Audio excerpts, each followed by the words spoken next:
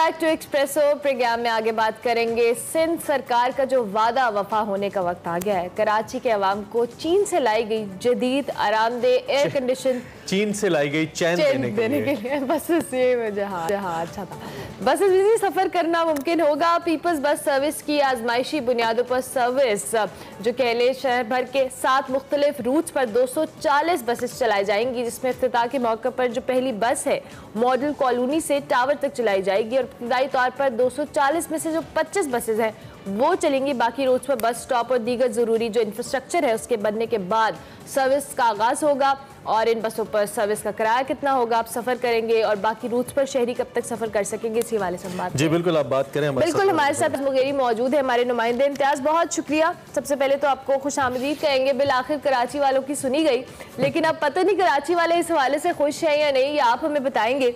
तो ये peoples bus service का जो आजमाइशी बुनियादों पर आज बाकायदा इफ्तः होगा होगा क्या डिटेल्स हैं? कितनी बसेस होंगी? जितनी हमने बताई हैं, इसके अंदर फर्दर आपको इन्फॉर्मेशन ऐड करना चाहें और इसके रूट्स के हवाले से भी हमें बताइएगा। देखिए जी पीपल्स पार्टी के चेयरमैन बिलावल भुट्टो जरदारी सूबाई वज़ीर शर्जील नाम मेमन और दीगर वजरा आज पीपल्स बस सर्विस का अफ्ताह करने जा रहे हैं। आजमाइशी तौर पे पहले इस रूट पे बसेस चलाई गई थी। ये रूट जो है रूट वन का अफ्ताह आज किया जा रहा है जिसमें 25 बसें चलाई जाएँगी और ये 38 स्टेशन है इस रूट पे। उनतीस किलोमीटर का ये रूट है अच्छा। जिसपे आज बसेस चलेंगी। बिलावल भुट्टो जरदारी आज यहाँ आएँगे इफ्ताह करेंगे और ये भी इम्कान के बस में वो सफ़र करेंगे एक रूट पे जो अब बसेस आज चलेंगी। रावल की ज़िंदगी का ये पहला बस का सफ़र होगा मुझे लगता है। अगर करेंगे तो। जी, लारकाना में उन्होंने अफ्ताह किया है। चंद रोज़ पहले और आज कराची में आज पहली मरतबा सफ़र करेंगे और यहाँ पर इंतज़ाम मुकम्मल कर लिए गए हैं। तीन बसें बिल्कुल जो जहाँ पर अफ्ताह हो रहा है, वहाँ पर लाई गई हैं कि पीपल्स पार्टी के चेयरमैन बिलावल भुट्टो गुजरा के साथ उन बसेज में जाएँगे और इस रूट का बाबा अफ्ताह करेंगे।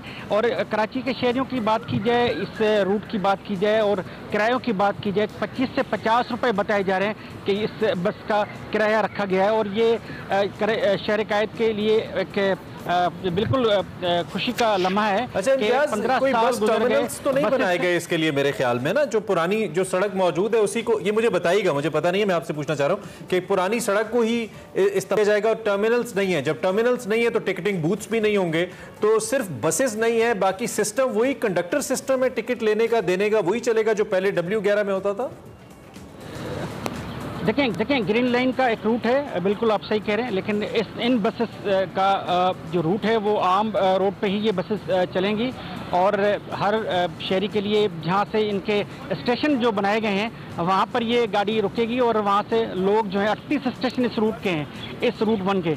तो वो मकाम बताए गए हैं लोगों को कि इन इन रूट्स पे यहाँ यहाँ पे ये बस रुकेगी ये स्टेशन हो गए लेकिन कंडक्टर सिस्टम में बिल्कुल किराया अंदर ही वसूल किया जाएगा अच्छा। लोगों की आसानी के लिए क्योंकि इन इन रूट पे बताया गया कि बाकी टर्मिनल इनका बनाया गया है इस रूट वन का भी बनाया गया है और बाकी भी डिपो जो जिसे कहें जहाँ पे बसेज रुकेंगी और वहाँ पे इनकी तो मेंटेनेंस होगी सफ़ाई होगी अमला होगा मुख्तलिफ़ स्टॉप्स बता रहे हैं क्या इस पे मुसाफिर खाने या मुसाफिरों के लिए कोई उस तरह की जगह बनाई गई है? जैसे लाहौर के अंदर आ, मेट्रो शेल्टर्स लगा दिए गए थे स्पीडो बस सर्विस जैसे लाहौर में चलती है।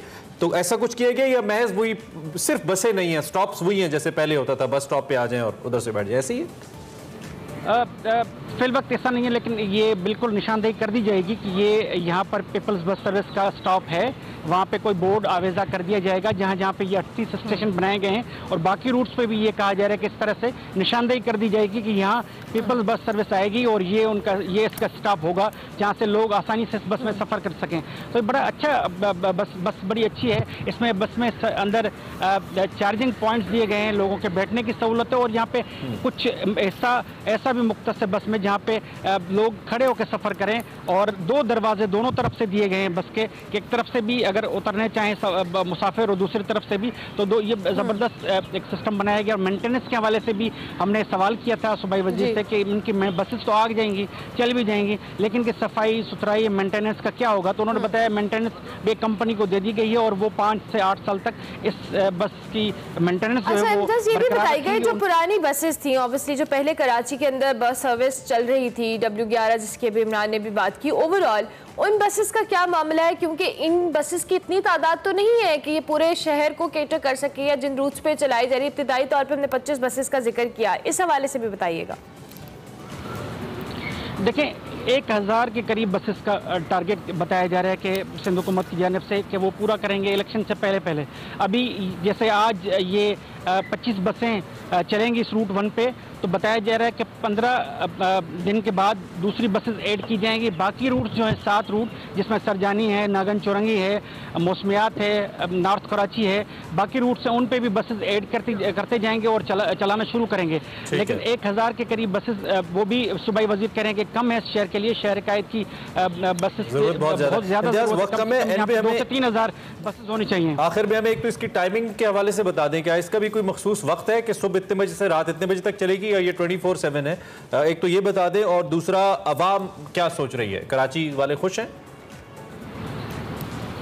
अभी वक्त नहीं बताया गया, लेकिन बसेस के लिए जैसे ये चलेंगे तो शेड्यूल ये आ जाएगा कि टाइमिंग इसकी क्या होगी, डिपो से किस वक्त बस निकलेगी बाकी रूट्स पे कहाँ कहाँ क्या क्या टाइम होगा, आएगी। लेकिन ये बसेस बताया जा रहा है कि इन रूट्स पे चलेंगी, और आवाम के हवाले से बताया जाए कि लोग खुश हैं, लेकिन वो चाह रहे हैं कि ये इन बसेस की तादाद बढ़ाई जाए। एक हज़ार बसेस जो सूबाई वज़ीर शर्जिल नामे ने बताई हैं, वो भी कम है शहर कायद के लिए। शहर कायद के लिए बसेस कम से कम दो से ढाई हज़ार होनी चाहिए, और मुख्तलिफ़ रूट्स पर चलनी चाहिए, ताकि फौरी तौर पर जो खटारा बसेज हैं लोग सफ़र कर रहे हैं दफ्तरों में जा रहे हैं उनसे बचे मोटरसाइकिल सवार आ रहे हैं और गाड़ियों में एक एक बंदा अगर दफ्तर आ रहा है तो वो भी रोड पे बड़ा रश होता है ट्रैफ़िक जाम होती है उस हम्म। सहूलत से, से अगर ये सहूलत आ जाएगी तो शहरी बड़े खुश होंगे खासतौर पर जो दफ्तरी उमूर के जाने फैक्ट्रियों में जाने वाले लोग इन बसों में सफ़र कर रहे मुस्तफ़ होंगे ठीक है बहुत शुक्रिया आपका आपने हमें आगाह किया। हमारे कॉरेस्पॉन्डेंट